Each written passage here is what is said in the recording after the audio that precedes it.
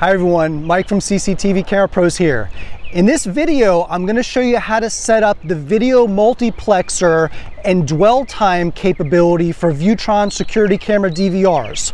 So first off, what am I talking about when I say uh, video multiplexer and dwell time?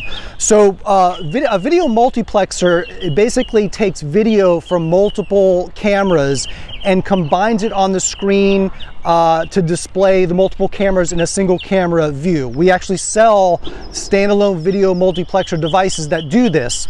Uh, but uh, Viewtron DVRs, they have built-in video multiplex capability so that in addition to recording and the remote viewing capability and everything else that you get with these DVRs and NVRs, you can also set up some pretty neat live video displays on local TVs and monitors.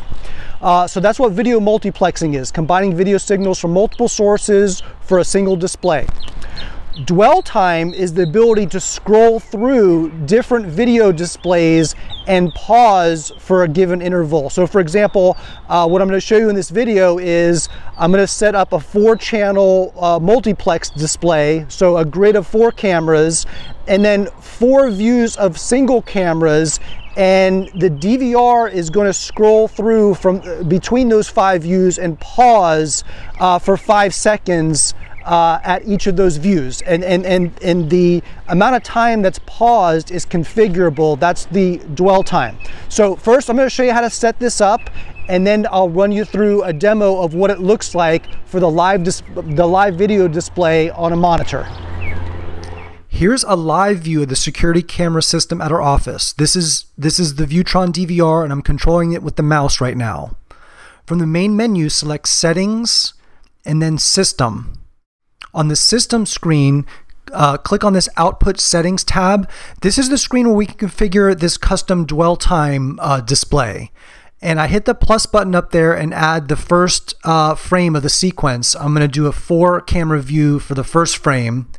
And you can see I'm dragging the cameras over into each of the grids where I want them to be displayed. So this first screen is going to be four cameras and it's going to display camera one, three, five, and six. And then I'm going to add four additional frames, and each of these are going to be single camera views. So I'm just going to put uh, single camera views of each of those four cameras that I used for the four camera grid view uh, into a single channel view like this.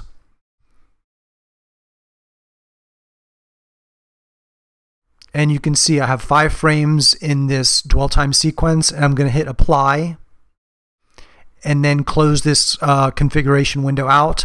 And now I'm back at the live view of the system.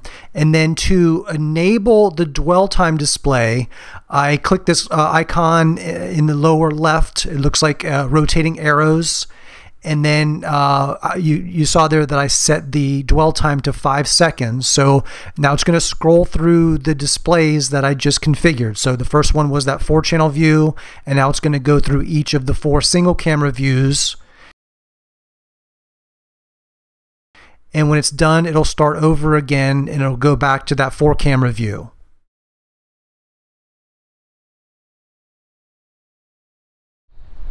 I hope this video has been helpful. If you have questions about anything that you've seen here, feel free to email me anytime at mike at cctvcamerapros.net.